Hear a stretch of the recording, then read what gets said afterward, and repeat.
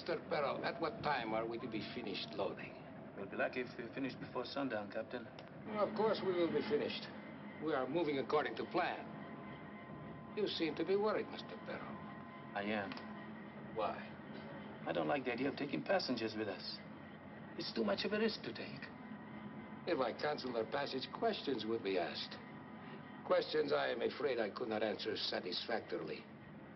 It would be a bigger risk not to take them. And you do not worry about taking risks, Mr. Perro. No, no.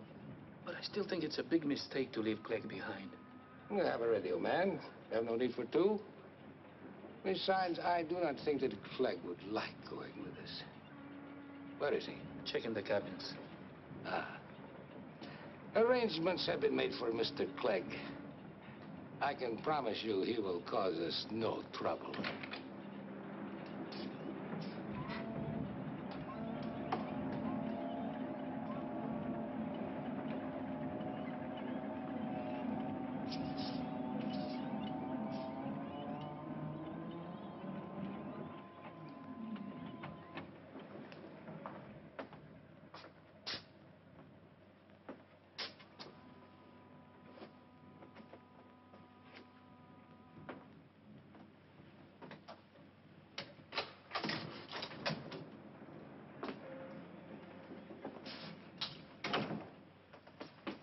You disappoint me, Mr. Clegg. I have always considered you a man with the nerves of steel. Like anybody sneaking up behind me like that. My dear man, I did not sneak up behind you. I merely opened the door, and there you were. You could have knocked. Next time I will, perhaps. You won't ever be seeing me again, Captain. And I won't ever be seeing you again. Can't say that'll upset me any. You just pay me the rest of my money. I'll be on my way. You have checked the entire ship? Yeah, I checked. Couldn't find a single thing wrong. I'll bet if Captain Gano walked on deck, he'd swear it was his ship. But Captain Gano will never walk the deck again. Will he, Mr. Clegg? There is nothing to be afraid of now, Mr. Clegg. Your job is finished. Stinking job it was, too. Yes, that is why you were so well paid. I ain't been paid yet. Tell me, Mr. Clegg, now that you are a comparatively rich man, where do you intend... My plans are no concern of yours. Just give me my money and I'll be on... Oh, I do not have the money. What's that? Now, do not excite yourself, Mr. Clegg. You will get your money, of course, I want it now. Mr. Clegg, no matter where you go eventually, you will have to start from San Brejo, will you not? Yeah? Well, then, that is it. There is a Mr. Kroll staying at the Los Rios Hotel. He will be expecting you. He will pay you. If I don't get my money from this Mr. Kroll, your ship will be picked up before she clears Brejo Gulf. Ah, but you will be paid. What does Mr. Kroll look like? I do not have the slightest idea. I have never met Mr. Kroll. If you've never met him, what makes you think he'll pay me? Please, Mr. Clegg, you have nothing to worry about. I have had business dealings with Mr. Kroll even though we have never met. He will take very good care of you.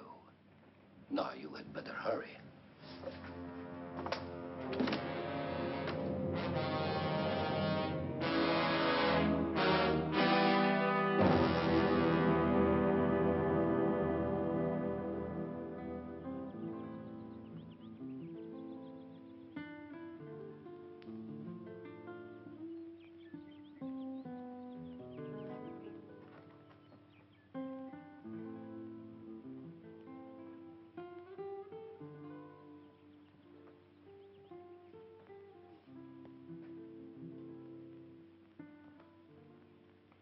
Sam! Sam Wilton. What the devil are you doing here in San Brejo? I came by to see you, Manuel. Why are you shake with your left hand? Oh. Is the bullet still in there? Oh, no, no. I stopped by Saraguro and doctor, he took it out. It's a little stiff, but it's okay. Look, Manuel, will you give me a drink? Who'd want to shoot you, Sam? Mollendo. Mollendo, but why he want to shoot you? You have run his plantation for nearly five years. Mollendo always speak very well of you. Why, he felt like an uncle to you. Yeah, but his wife didn't uh, feel like my aunt. Oh, I see. Mollendo is a very jealous man. Uh, yeah, yeah, I know. Well, there are a lot of plantations that need a good farmer like you. You have nothing to worry about, Sam. Look, Manuel, I uh, have got quite a bit to worry about. is Mollendo here in San Brejo? No, no, he's still up at the plantation. But I am in trouble and I need help, Manuel. Sure, Sam. What can I do? I gotta get back to the States. Oh, that is simple. When do you want to go? Well, on the first boat that leaves here. The Banos leaves tonight. Good, good. I want you to put me right on board. Well, I don't need this much, Sam. You give me your passport and Well, I I'll- don't have a passport. That's why I gave you this extra money. You can get me one, can't you? But where is your passport? Well, it's still back there at the plantation. I don't feel like going back to get it. Yes. Mollendo has very big temper. All right, Sam. I go to the office to make a call. I'll be right back.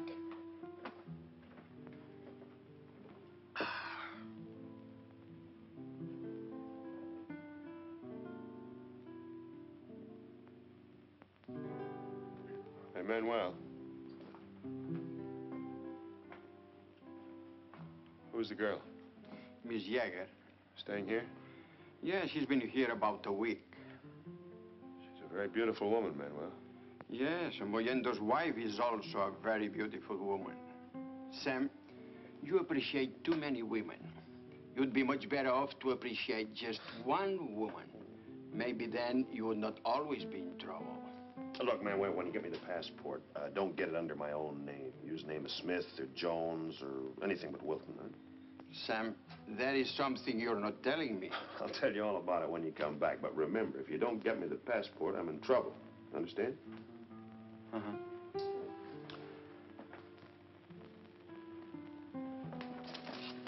Oh, good morning. Good morning, Manuel. Mr. Dilts would like to talk to you.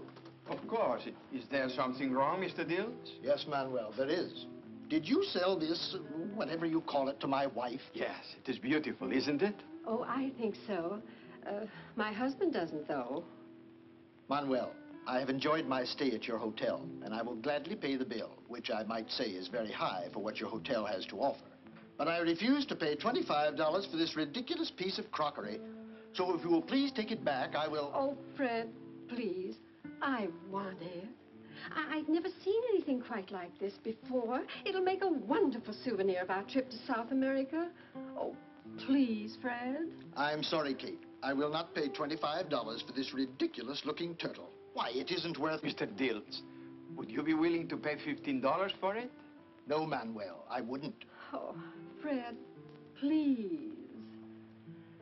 Oh, very well, Kate. Oh, Well, now that that's settled, we'd like to pay our bill. We're leaving on the Banos tonight. Certainly, Mr. Crofton. Come with me.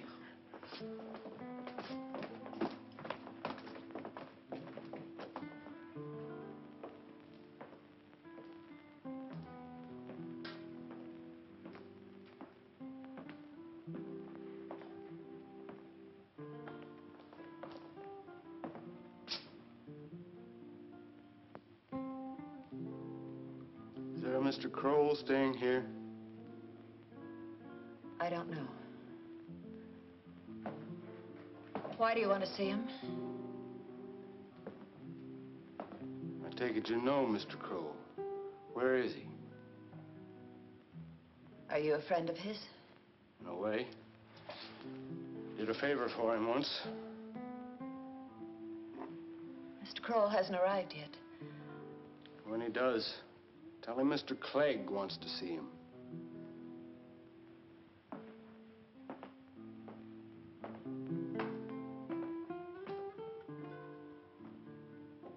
Are you feeling all right?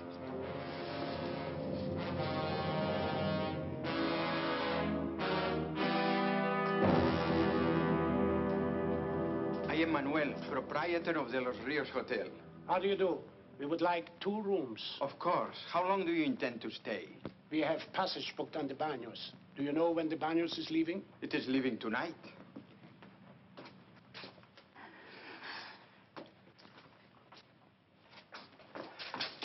Ilse. Ilse.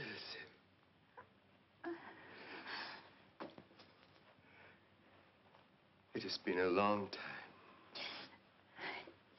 still can't believe that you're here. I was so worried.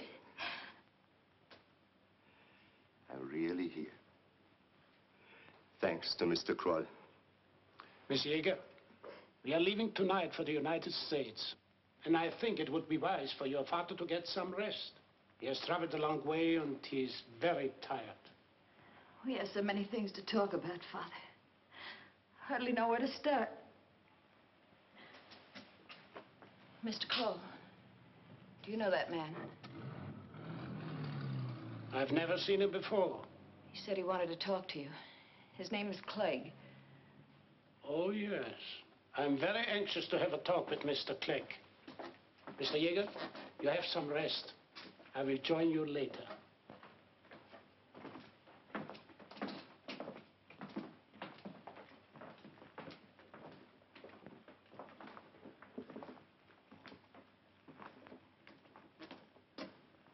You wish to see me, Mr. Clegg? That's right. Captain Scarface told me. I'm afraid I don't know anyone by that name. You do know Captain Tregner. Yeah, I know him. Well, that's who I'm talking about. He told me you'd give me $5,000. I will, Mr. Clegg. Just hand it over and I'll be on my way. I have the money in my suitcase. You are staying the Los Rios, Mr. Clegg? Till I get my money, I am. I will bring you the money to your room tonight.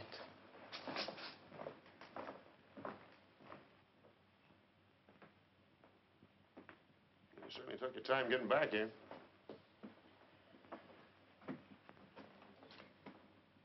Well, what are you looking at me like that for? Look, uh, I haven't got time to play games. I gotta get the passport. Did you get it? Why not? You know why. You told me Mollendo shot you, but you didn't tell me that you shot Mollendo. Well, you didn't ask me who I shot. You only asked me who shot me. You must be crazy. Mollendo is one of the richest men in all South America. If they catch you, you'll spend the rest of your life in jail. Well, if I hadn't shot him, he'd have killed me. He'll be all right in a few weeks. I only shot him in the leg. You cannot stay here, Sam. Mollendo has notified every governor of every province Yeah, that's that... what I figured. See, that's why I asked you to get the passport. You and- cannot stay here, Sam. Everybody knows we are friends. The police will come here looking for you. If they find you here, Manuel will be in trouble. Mm, okay, Manuel. I'll leave in the morning. I'm sorry, Sam. I wish I could help you. Get it, Manuel. I'll leave in the morning.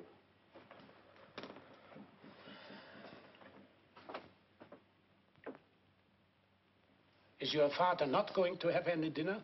He said he wasn't hungry. Is he all right? I think so. He's changed so very much. He looks so old. He has been through a great deal since you last saw him. Yes, I know. I don't quite know how to thank you for all you've done. I don't want any thanks or gratitude. I consider myself very fortunate to have been in a position to help your father. I didn't think I'd ever see him again. It's been eight years, Mr. Kroll. Sometimes I gave up hope that he was still alive. Miss Yeager, please. You shouldn't dwell in the past. Your only concern should be with the future. I know. A brandy will do it. Bend the past and brighten the future. Excuse me. I will be right back. Yes, sir. I spend just about as much time down here in this part of the country as I have in the States. As a matter of fact, if I could have gotten some of the stake meat back in the 30s, I'd have been a multimillionaire by now. Well, I don't know anything about mining or South America. This is our first trip. There's still fortunes to be made down here. The Andes is just flooded with gold. All you have to do is find it. And I'm going to do that before I die, I promise you. I'm sure you will. Oh, say, Fred. Here, here's one of my cards. If you find anybody back home that has a little money they want to invest, drop me a line. I don't know why I like this turtle so much. He looks so uncomfortable on his back. Fifteen dollars. I'm uh, Sam Wilton. I saw you when you came in this morning. It was quite a reunion. Miss Yeager seemed mighty pleased to see the old gentleman. Are uh, you staying? Uh... I came in here to order two drinks, not to make your acquaintance. Don't bridle, friend. I was only trying to make conversation. If you don't feel like small talk, I won't make with any. Thank you. How much do I owe you? Nothing. It's on the house.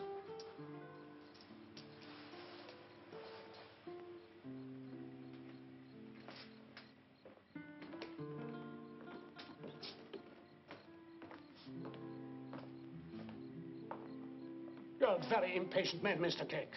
I will be up in your room in a few minutes. I don't like to be kept waiting, Mr. Kroll. Miss Yeager, I think it would be wiser not to board the Banos together. Why? Surely you don't anticipate trouble now that we've come this far. No, no, no, no, not at all.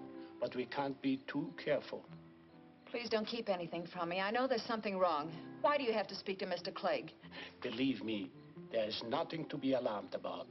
I will admit that Mr. Clegg is not one to inspire you with confidence. But Miss Yeager, in order to help your father to escape, I was forced to deal with many men, even more unsavory than Mr. Clegg.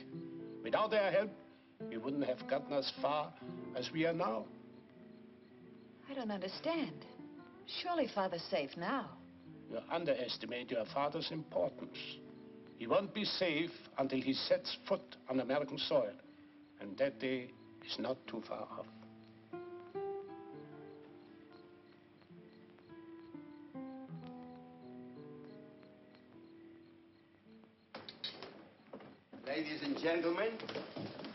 Here to take you to the Banos. I hope you have all enjoyed your stay at De Los Rios, and I hope you will all return to South America again. And when you do, remember, you are always welcome at De Los Rios. Thank you very much. Very nice Let's go, of Come. Oh, yes, I must.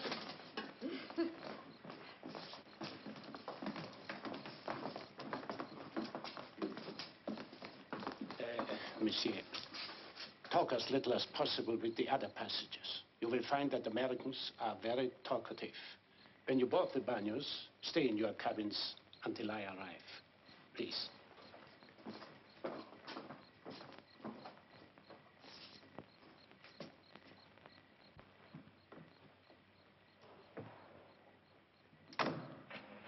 Driver, I would like you to come back here at 10 o'clock. Mr. Crow, I thought you were going too. I put your luggage in the back of It's the... It's all right, Manuel. I wanted my luggage to go on ahead.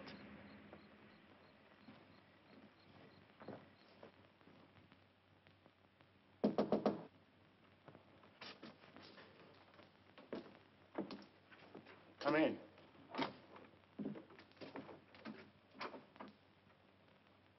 Did you see, Mr. Kroll? I was expecting you. If you will please put that gun away, we can get on with our little transaction. This won't interfere with our transaction. All you have to do is count out $5,000, leave it on that table, turn around and leave. It's a very simple transaction. No, Mr. Clegg, it's not as simple as that. What's complicated about it? You.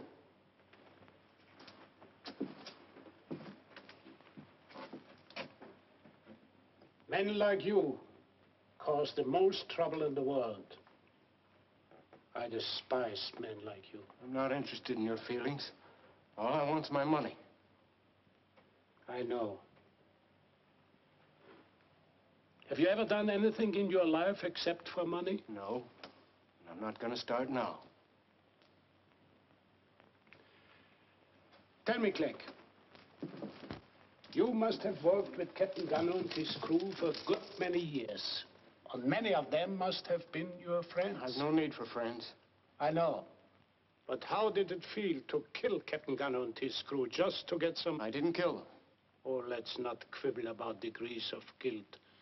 If it were not for you, those men would still be alive. You didn't come here to give me a lecture. I'm waiting for my money. Are you positive there are no survivors? Only the one you're looking at. Good. Mr. Clegg, you are not going to get any more money. In fact, you are not going to leave this room alive. You're not in a very good position to make threats like that. Now, one move out of you, Crow, and I'll keep pulling this trigger till you're so heavy you won't be able to stand up.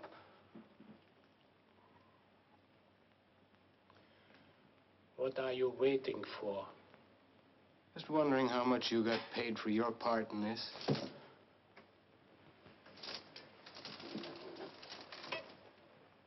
I was paid nothing. No? How about Captain Scarface? How much did he get? Nothing. This may come as a surprise to you, Clegg. But many men do things merely because they believe in what they are doing.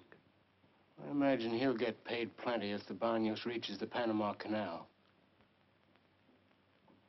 You know more of our plans than I realized. Now maybe you'll change your mind about paying me. The money is in my inside coat pocket. Will you try to get it? Or will you permit me to? Move very slowly, Kroll. Take the money out of your pocket and throw it on the bed.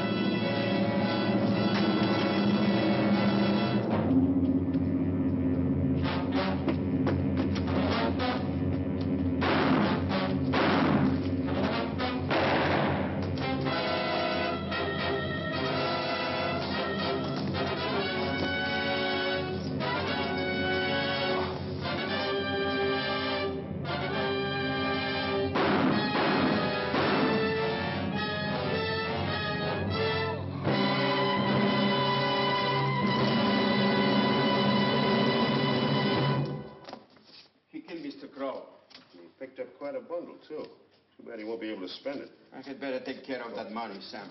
Come with me.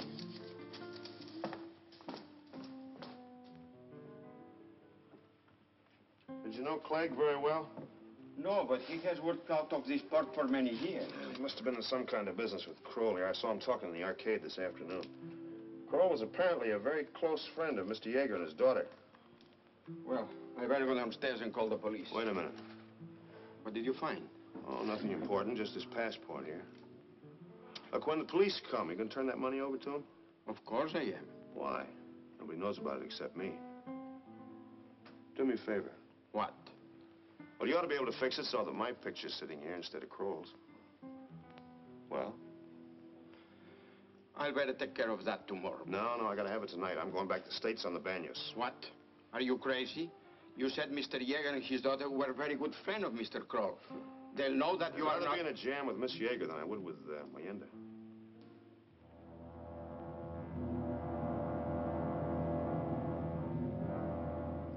We will cast off as soon as he comes aboard.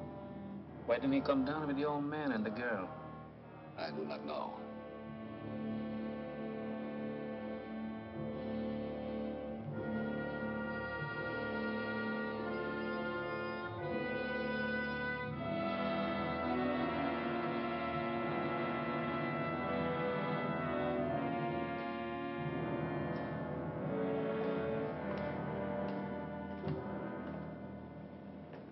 Mr. Kroll, That's right. may I see your passport, please?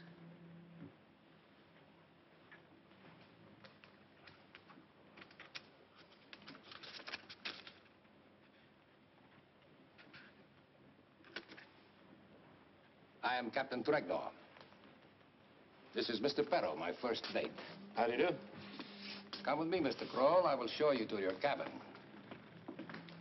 Mr. Clegg got in touch with you, I suppose? Yes, he did. Did he give you much trouble? Yes, quite a bit. That is too bad. Where is Mr. Clegg now? I imagine he's in the morgue at San Brejo. That is a very safe place for Mr. Clegg to be. That is Mr. Yeager's cabin. This is the girl's. And this is yours. As soon as we get underway, come to my cabin. We have many things to discuss. Oh, Captain Tregner, I haven't had any sleep since I arrived in San Brejo. I wonder if you'd mind if I... Oh, certainly, certainly. Sleep as late as you like. We will have plenty of time to talk tomorrow. Sleep well, Mr. Pro. Thank you. Oh. Has Jaeger become at all suspicious? No, no. Not at all.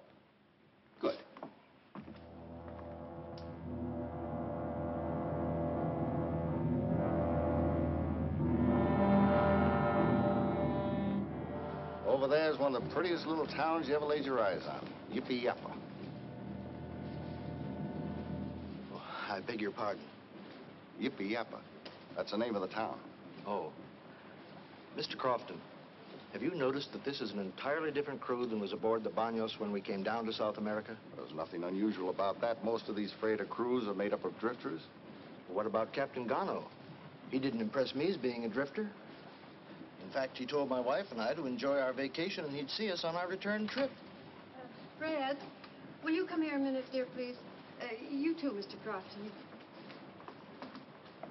Good morning, Mr. Dills, Mr. Crofton. Good morning, Captain. What is it, dear? Something very strange, Fred. Um, this is the same cabin we had before, isn't it? Yes, of course. You know it is. Why?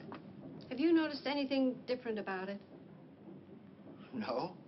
Well, when we came down to South America, the porthole in this cabin was on that side of the door. Look, right, right about here. Oh, that's ridiculous, Kate. They don't go around changing the portholes. No, no, no, dear. I tell you, I am positive. Now, listen, Fred, if you'll just try to remember, when we'd go to bed, it was usually very warm, and we always left the porthole open. Then, during the night, it always turned cold, and I had to get up and close it. By golly, Kate, you're right. The wind used to whistle through that porthole right across my back. Yes. And I always had to get up and close it. Are you both sure about this? There's just no doubt about it. That's where it was, right there. I don't understand this, Mr. Crofton. Neither do I. Father. Father, are you up? Oh, Captain, could you tell me which cabin is Mr. Kroll's? Mr. Kroll is staying in the cabin next to yours, Miss Jaeger. Thank you.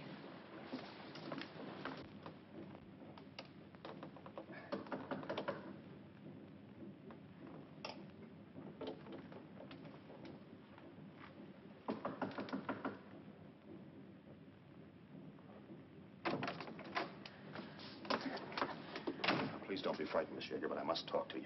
I was told this is Mr. Kroll's cabin. Please let me go. I can't, I can't. I've got to talk to you. Now, please trust me, Miss Yeager. What do you want to talk to me about? I don't exactly know. Mr. Kroll is dead. He was killed in the Los Rios Hotel by a man by the name of Clegg. I, I don't know why he was killed, but I do know that you and your father are in trouble. When I boarded the ship, Captain Tregner asked me if your father was at all suspicious.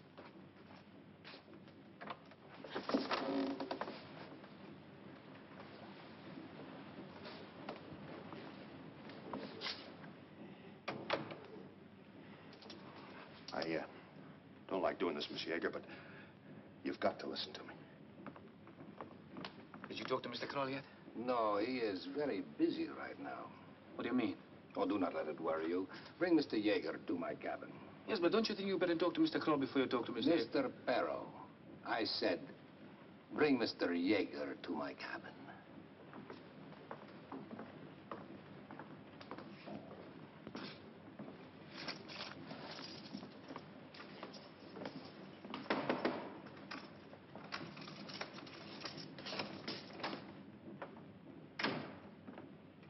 Mr. Yeager, wake up. What do you want? What are you doing in my cabin? Get dressed. Captain Tregner wants to see you. What for? I don't know, but Captain doesn't like to be kept waiting.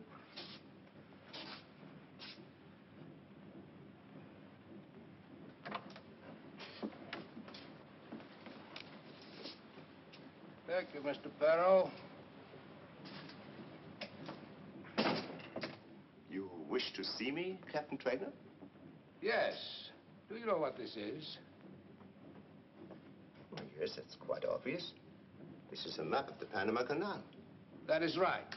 You are looking at a map of the most valuable little strip of water in the entire world. Do you have any idea how many more miles the Banos would have to travel from Guayaquil to New York if it were not for this little strip of water? No, I haven't. 7,405 miles. And it saves ships going from Alaska and the west coast of the United States to the east coast 7,873 miles. Quite aware of the great value of the Panama Canal. So is the United States. That is the reason why this man-made ditch is the most carefully guarded place on the face of the earth. I dare say what you say is true, but why are you telling me this? I would like to have your opinion. Do you think it is possible to destroy the usefulness of the Panama Canal? I really wouldn't know. Oh, Captain Tregner, surely you haven't gotten me out of bed to discuss the Panama Canal. Yes, I have, Doctor. Why are you calling me doctor?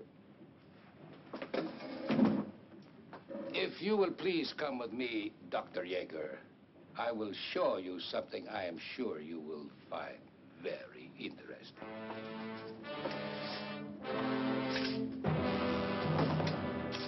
Please, Miss Yeager, you must believe me.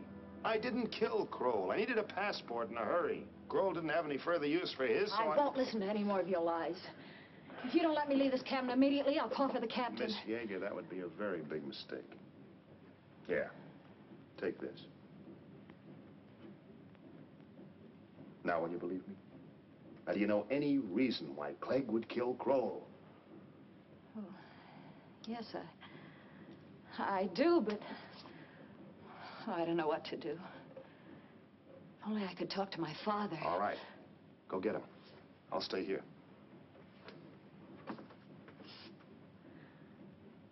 Oh, uh, would you mind leaving that with me? Thanks.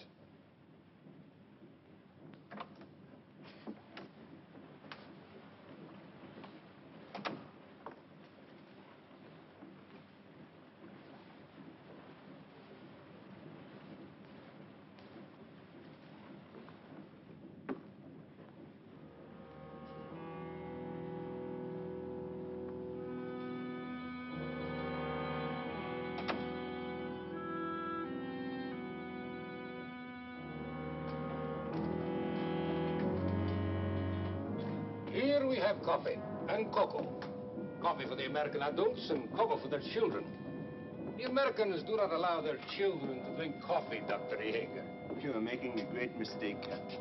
I am no doctor. Of course you are not. You would not know any more about setting a broken leg than I would. Well, then why do you... Please. I know who you are, Dr. Yeager. Why did you bring me down? To show you something you understand a great deal about.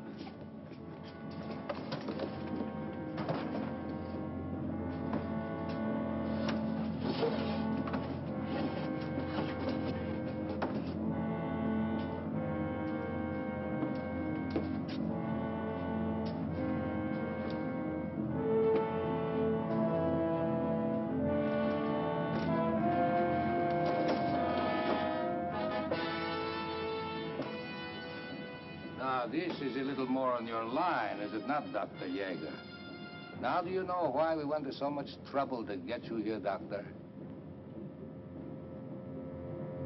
You intend to destroy the Panama Canal.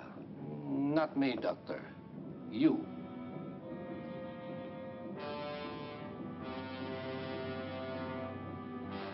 No.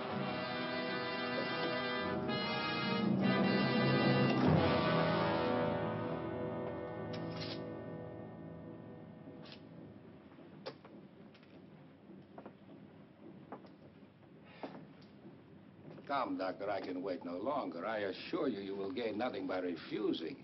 I must have your answer. I have given my answer.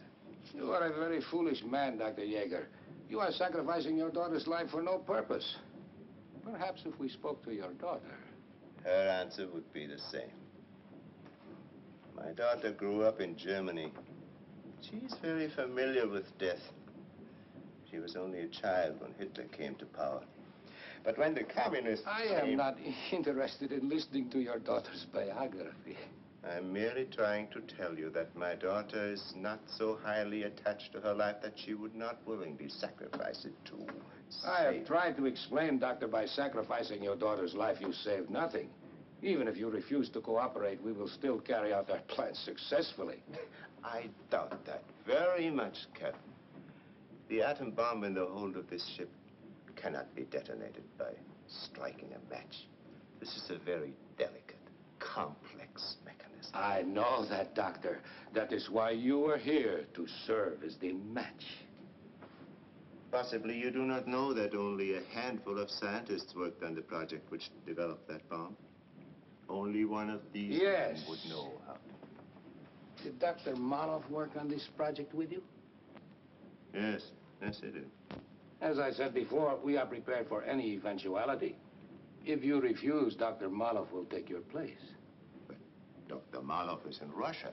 No, he also has taken a very long trip recently.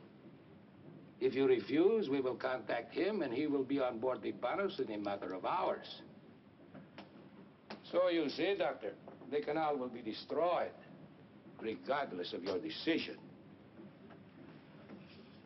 But your daughter is so young and so very beautiful. It would be a pity to sacrifice her life for no purpose. I must have your answer. Can I speak to my daughter alone? Just a few minutes? Very well, Doctor. Go to your daughter.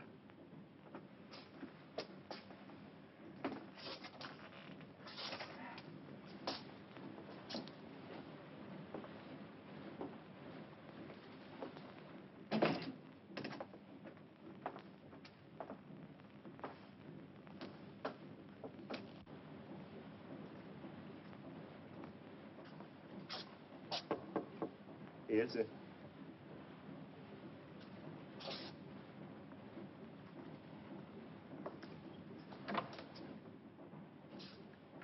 Father, where have you been? I've been so worried about you. Talking to the captain. Come, Ilse. Sit down. I must talk to you. Father, Mr. Kroll has been killed. What? There's a man in the next cabin using his passport. His name is Sam Wilton. He said that we were in great danger and he must talk to you. I must talk to Mr. Wilton. I'll go with you. No, Ilse. I must talk to Mr. Wilton alone. Now, you, you go to your cabin. And I'll meet you there later. Why can't I go too? Please, Ilse. I have no time to waste.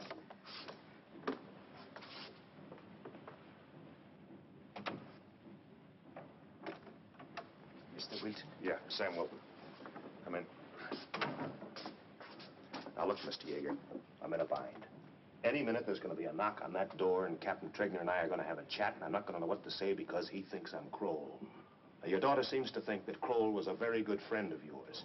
I have found out Kroll was not a friend of ours. Who was Kroll? Obviously, a communist agent. This Captain Tregner, he's a communist too. Well, where do you fit into all this? Mr. Wilton, there is an atomic bomb in the hold of this ship. That is why I am here. The purpose of this voyage is to destroy the Panama Canal. Oh, I thought I had news for you. Now, look, Mr. Yeager, you've got to tell me all about yourself and Kroll. Now, give it to me fast. But I, I don't know where to begin. Well, where did you meet Kroll?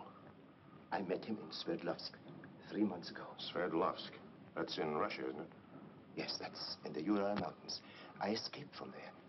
Or at least I thought I had escaped from there. Two weeks ago with the help of Kroll. Oh, was your daughter in Russia with you? No, no. I met Ilse in San Brejo.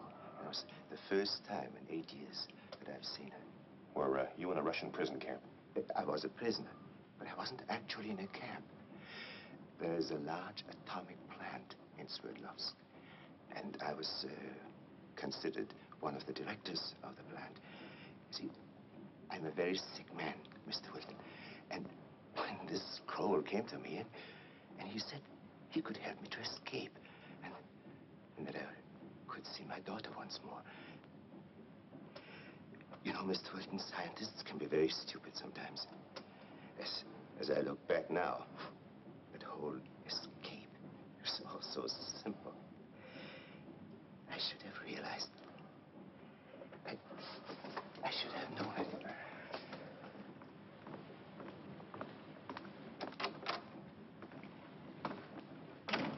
Where is your father, Miss Yeager? I don't know.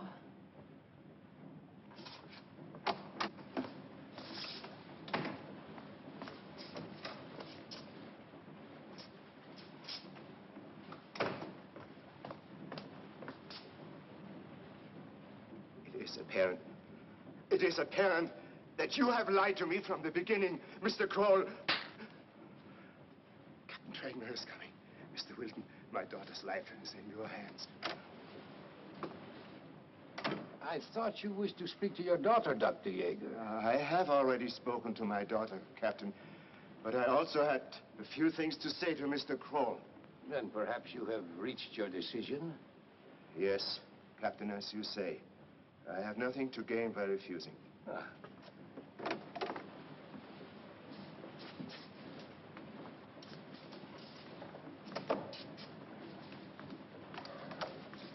Father, Mr. Kroll, you had better take Miss Yeager into her cabin. where are you going?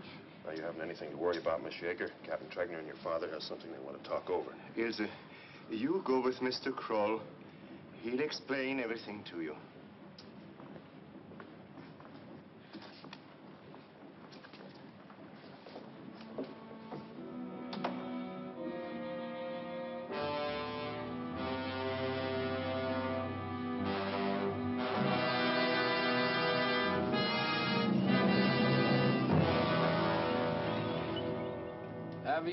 Been through the Panama Canal, Mr. Kroll?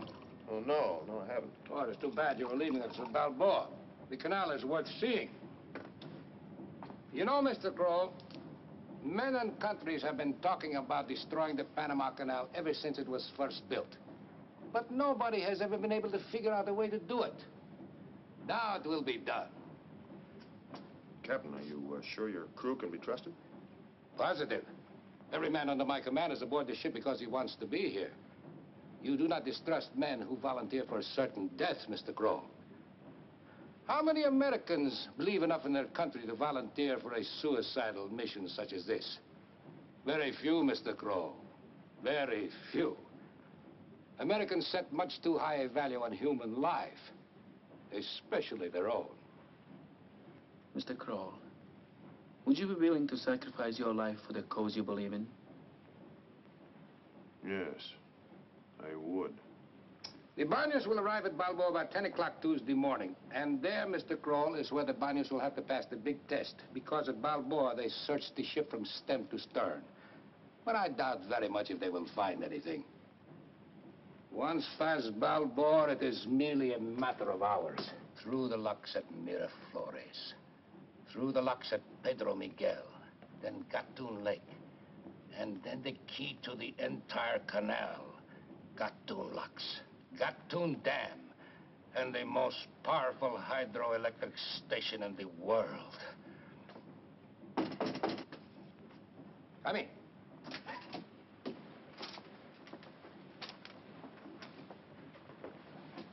Is that from the Tara, Captain? Yes, there has been a slight change in the plans. What do you mean? We will meet the Tara off Cabos Corrientes as we had planned if Dr. Yeager had refused. But instead of Dr. Maloff coming aboard the Banos with us, you, Mr. Kroll, and Miss Yeager will go aboard the Tara. What time do we meet the Tara, Captain? 11 o'clock tomorrow night. Something troubling you, Mr. Kroll? Oh, no, no, not really. I just don't like changing plans. Well, sometimes a change in plans is necessary.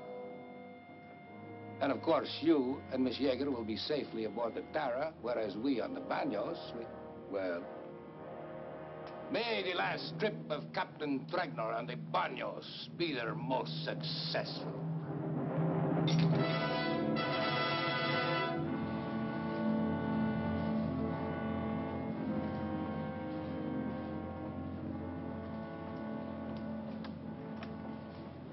Please, Miss Yeager, stay in your cabin.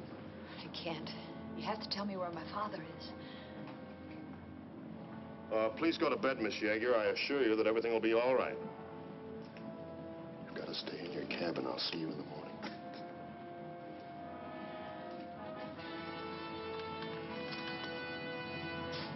Oh, uh, That won't be necessary, Perro. Captain's order, Mr. Kroll. He doesn't want Miss Yeager to talk with the rest of the passengers. Oh, yes, yes, I guess the captain's right. Uh, good night. Uh, good night, Mr. Kroll.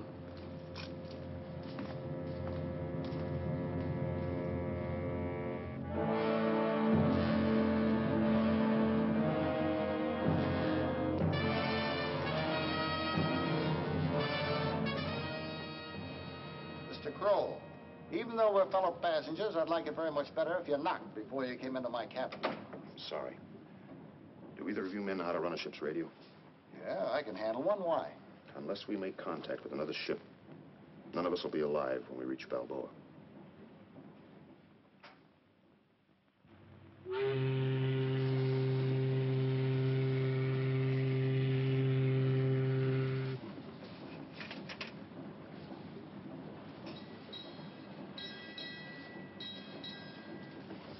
Fred, do you think they'd mind if I picked a few bananas? Yes, I think they would, Kate. Uh, why? Fred, are you going to answer me? What did you say, Kate? Nothing, dear. Nothing at all. What in the world is the matter with you this morning? Why, you're acting Here as... comes Mr. Crofton. Well, what's so earth-shaking about that? Good morning. Good morning. Oh, morning. Say, do you think they'd mind if I picked a few bananas? I don't think so, Mrs. Dilts. I don't either. Could you do something about cheering my husband up? My goodness, he's been in the dumps all morning. I'll try, Mrs. Dilts. Haven't you told your wife anything? I didn't think there was any point in having her worried, too. I don't suppose you had any luck sending out a message.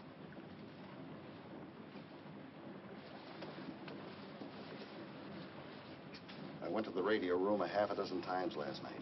They keep it locked. Where's Wilton? I think he's in the captain's cabin. Have you seen the girl? No. One of the crew took some food to her cabin a little while ago. What are we going to do, Mr. Crofton? I don't know, Fred. oh, Fred. Oh, you almost made me drop this. Well, it wouldn't be much loss if I had. We'll be in our cabin, Kate.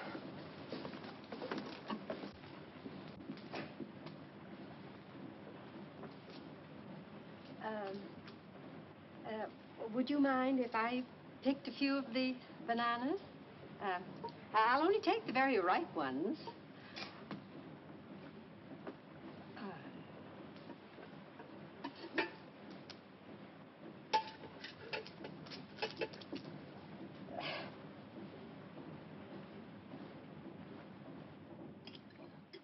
Why don't you take off your coat?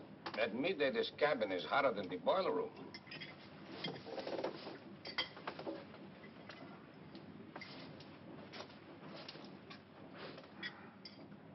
Mr. Kroll, this is a new suit. You bought it in San Brejo. That's right. What about it? Nothing. But I would think you would have had too much on your mind while in San Brejo to bother buying a new suit. You were only in San Brejo one day, Mr. Kroll. Needed a new suit. Why? Mr. Perro worries about everything, Mr. Kroll. So I see. I bought the suit because I sent my luggage down ahead with the Yeagers. Left me only one suit, the one I was wearing. After seeing Clegg, uh, suit wasn't very presentable. Had a round hole right here in the sleeve. I figured it might make the customs men rather curious. Does that ease your mind, Mr. Perro?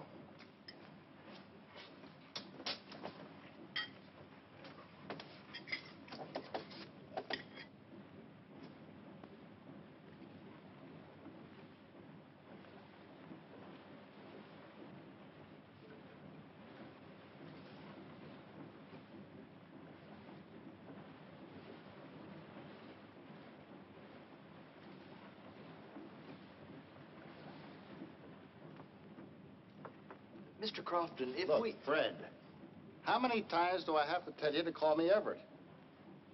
You know, I bet you never call anybody by the first name unless they're a blood relative. I'm not quite that bad, Everett. I was thinking if we... That was Kate.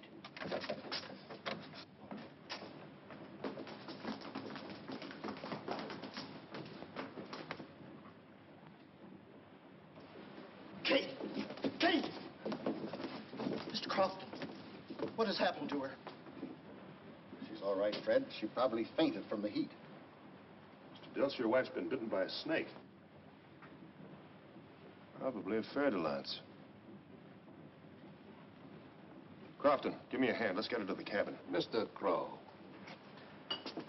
let Mr. Dilts and Mr. Crofton take her to her cabin. I think it would be wiser if you remain here and find the fer de lance. You two men there, you could also help to look.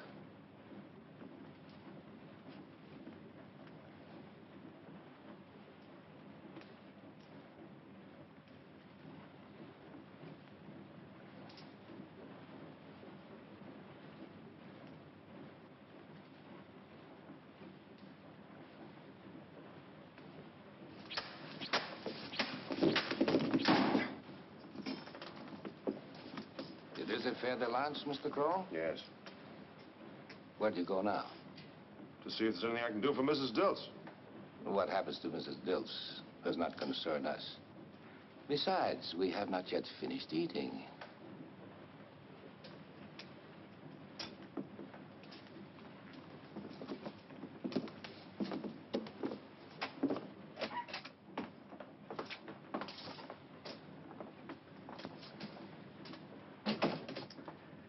Mr. Perro, please roll up Mr. Kroll's sleeve. I would like to see how badly he was hurt by Mr. Clegg. Roll up my own sleeve. Remove the bandage, please. You heal very quickly, Mr. Kroll. Look, Captain, no more games. Let's have it. What's on your mind? A considerable number of things. It is very odd that you knew Mrs. Dilts was bitten by a fer de just from the marks on her face, even before you ever saw the snake. And I noticed that you handled and carried a machete just like a native. Other things bother me, too. Mr. Perro, have you noticed that Mr. Kroll is very brown? Perhaps he has spent more time in South America than he has in Russia. Who are you, Mr. Kroll? If I told you, you wouldn't believe it. Tell me anyway.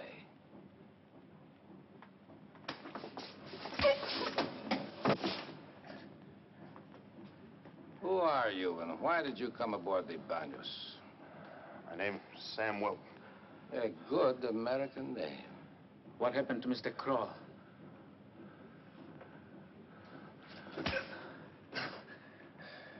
Mr. Perro has just asked you a question. Clegg killed him. Is Clegg still alive? Why don't you pull the string on that thing, get this over with? I intend to, Mr. Wilton, but not until I've asked you a few more questions. I can ask all the questions you want, but you won't get any answers. Captain, Mrs. Dilts is dying. We've got to get a doctor. Oh, that would be a waste of time, Mr. Crofton. Mrs. Dilts will be dead within an hour. Mr. Kroll tells me that a fer de lance is... I don't care what Mr. Kroll tells you. I insist that you radio Buenaventura and have a doctor flown out. He can be here in a. Yes. But I am the captain of the Banos, Mr. Crofton. And I'm not sending for a doctor. Now, please, go back to your cabin.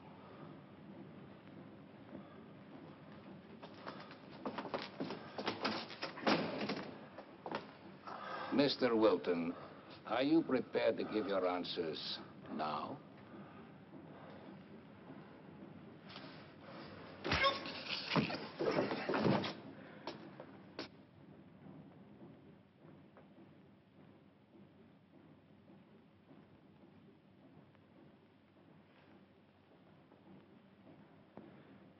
There's no use doing that any longer, Fred. She's dead, isn't she? Where are you going, Fred? If the captain had sent for a doctor, Kate would still be alive. I know, Fred, but you've got to stay here. No, I'm going to see the captain. Look, Fred, I know how you feel. Let me go. Figure something Let out. me go. Look, Fred.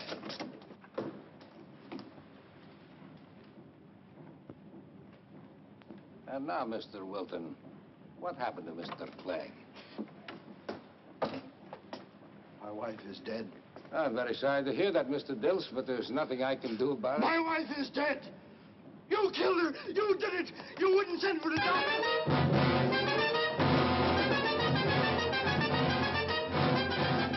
Take every man and search his ship from stem to stern. Bring that man back here. All hands!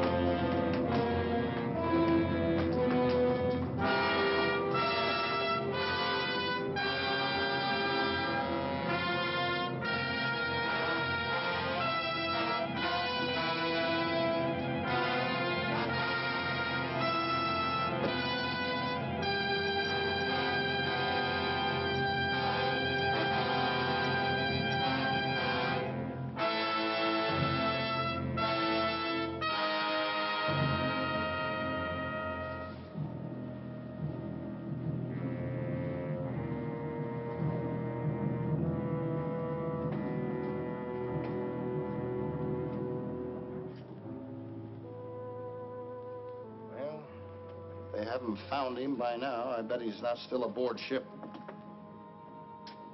You know what? They're still looking for him. I think I'll go down and see if I can get into that radio room. Fred, if you'll... Fred.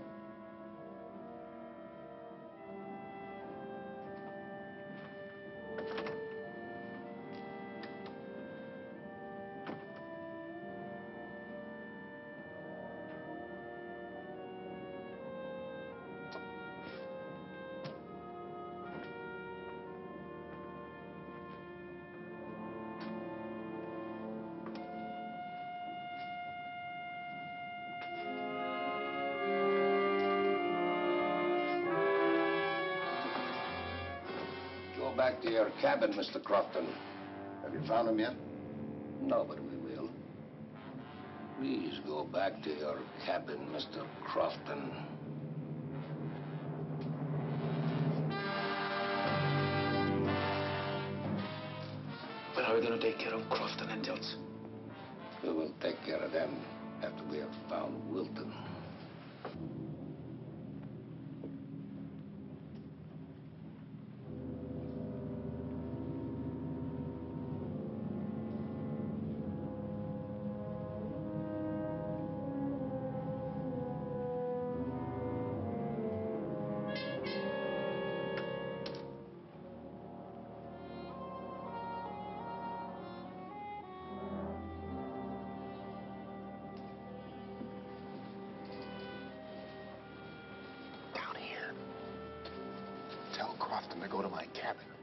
There's a gun underneath my bunk. If he can make it, he may get a message on it. They're coming this way. They'll find you, Mr. Wilton. Get down. My wife is dead, Mr. Wilton. Goodbye, Mr. Wilton. I wish you and Mr. Crofton luck.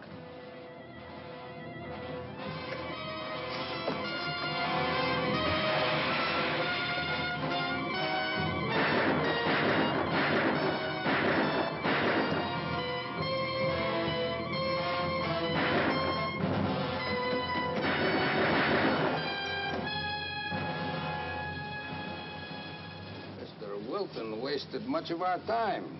But he will waste no more, Captain. We better radio the Tara not to wait for Mr. Kroll. Not yet. We still may have need for Dr. Maloff. Why, Captain? You are not very bright, Mr. Perro. I will have to have a talk with Dr. Yeager before we radio the Tara.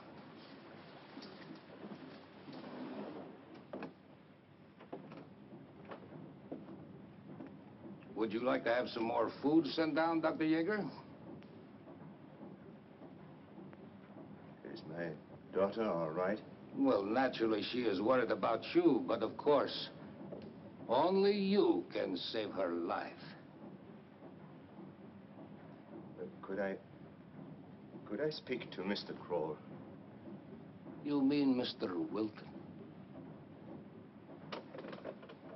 Yes, we have found out all about your friend, Mr. Wilton. He is dead, Doctor. He tried to escape. And so, if you will still agree to serve as the match, Mr. Perro, my first mate, will leave the Banos at Balboa with your daughter. And he will release her the moment he receives word that the bombing has taken place. If you refuse, you and your daughter will be killed, and Dr. Maloff will take your place. Well, Dr. Yeager.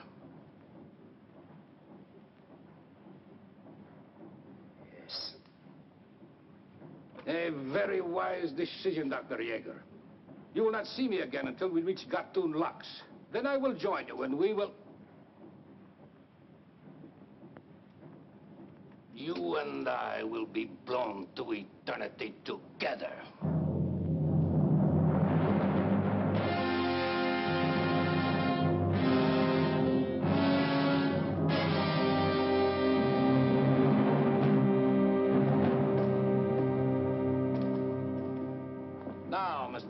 We can radio the Dara. You men, start moving the cargo.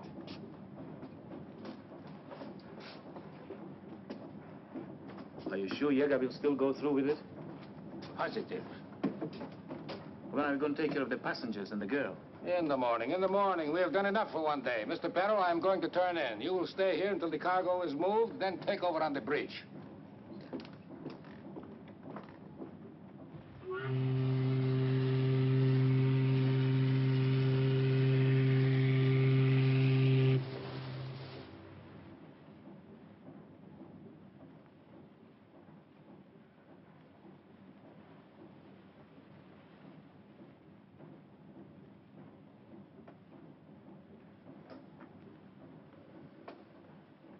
Be very quiet, Captain.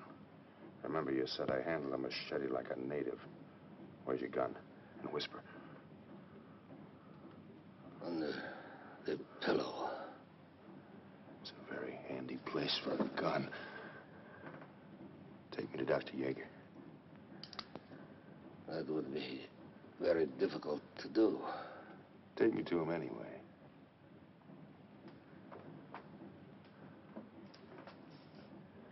Get up.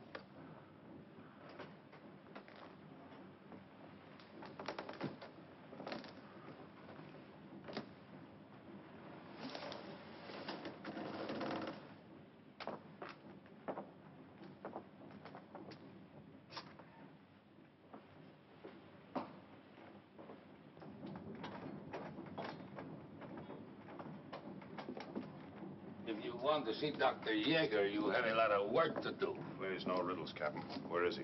Behind the cargo, there is a section built into the side of the ship. Okay, you know exactly where it is. Start moving the cargo, Captain.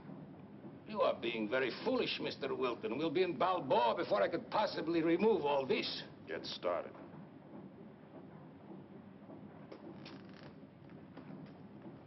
What happened to the original Banos? It was torpedoed and sunk. A week before you came aboard at San Brejo. How come no one knew about the sinking? That was Mr. Clegg's contribution. He was the radio operator aboard the original Banos. So no message was sent, and there were no survivors to tell about it except Mr. Clegg. You made this ship look enough like the Banos to get it through the Panama Canal without suspicion. huh? That is right. Quite a plan, Captain. Quite a plan you.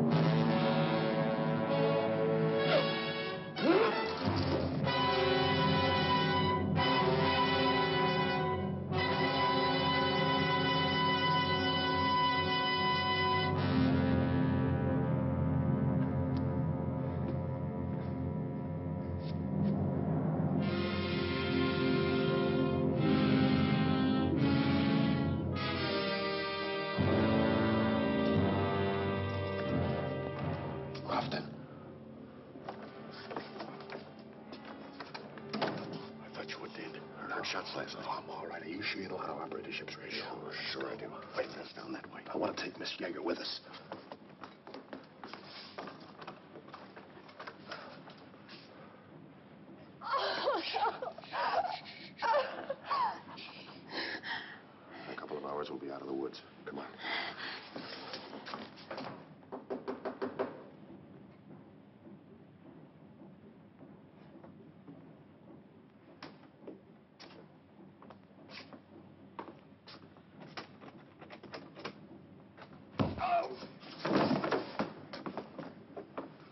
Take over. Lock the door. Here, hold this.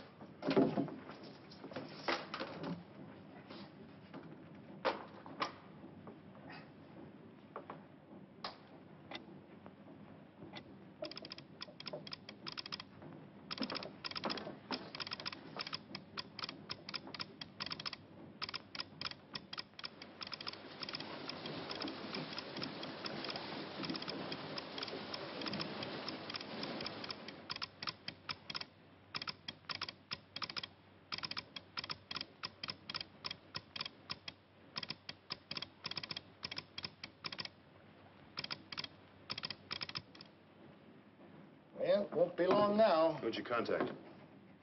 I hit the jackpot.